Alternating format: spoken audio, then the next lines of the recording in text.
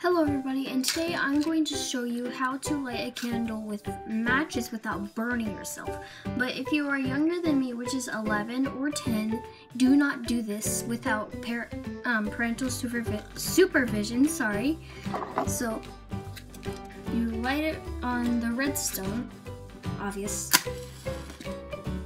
Hold it like this is the trick and tilt the candle and put it in the candle.